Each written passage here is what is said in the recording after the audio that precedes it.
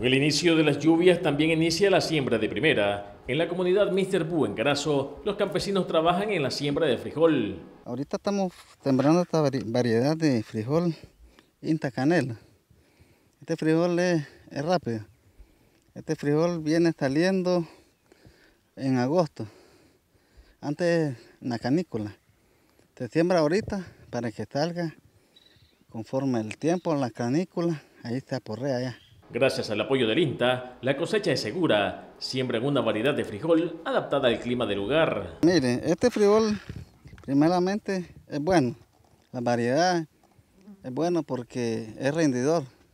Es rendidor porque eh, es, traído por lo general semilla preparada, bien, bien acondicionada. Ahí lo mira. Eh, está puro este frijol, mire La siembra debe tener el cuidado apropiado, con el uso de abonos y otros productos que cuiden de las matas y de la madre tierra. En esta zona, la producción puede alcanzar hasta unos 25 quintales por manzana. Bastante fértil, pues, pero necesita también echarle su, su refrescante.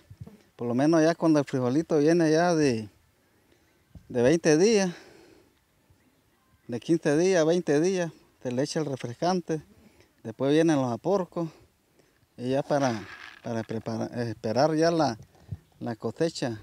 El precio del frijol en los mercados de Managua está bastante alto. Se espera que cuando salga la cosecha, que hoy están sembrando en agosto, su precio baje.